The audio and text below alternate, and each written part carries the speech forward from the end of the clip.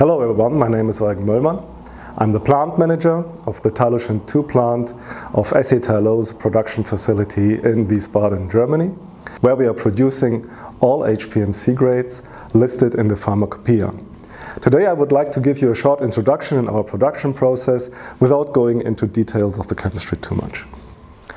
Starting from pulp from various sources, and we are performing the chemical reactions under controlled conditions and afterwards the washing with purified water. This solvent and salt-free product is then customized according to the agreed specifications, especially viscosity, and filled in various packages. We are filling into fiber drums, we are filling into carton boxes, and we are filling into big bags. The whole production process from the start, especially the sourcing of the raw material, down to the handling of the final goods in our warehouse, which is on site, follows GMP regulations as defined in our risk-based approach.